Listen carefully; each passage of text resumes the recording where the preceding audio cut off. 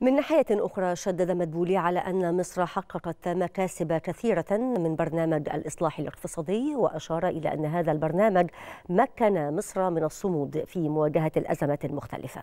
خلال المؤتمر الصحفي قال مدبولي إن الدولة تسعى لمد مظلة الحماية الاجتماعية وتحمل العبء عن المواطن مشيرا إلى أن الحكومة بدأت مشاورات مع صندوق النقد الدولي بشأن برنامج جديد.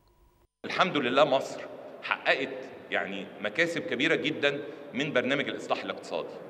وتاني بستعير الكلمة اللي قالها فخامة الرئيس امبارح إن لولا هذا البرنامج ونجاحه والدولة المصرية قدرت إنها تقف على رجليها وعدينا أزمة كورونا ده برضو اللي مخلينا النهارده الحمد لله قادرين إن إحنا نصمد ونستمر في عملية التنمية. في تأثير سلبي بالتأكيد في تأثير سلبي زي كل دول العالم.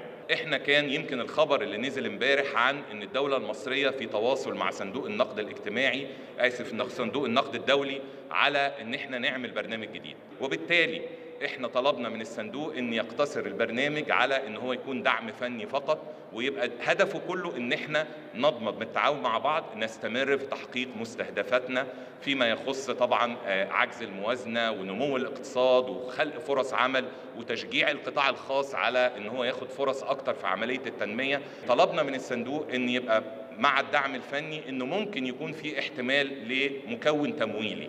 نطلبه وقت ما نحتاجه علشان لو الظروف لقينا انه قدام محتاجين أي تمويل إضافي يبقى نقدر إن إحنا يكون لدينا هذا المكون أيضا في الصندوق في البرنامج.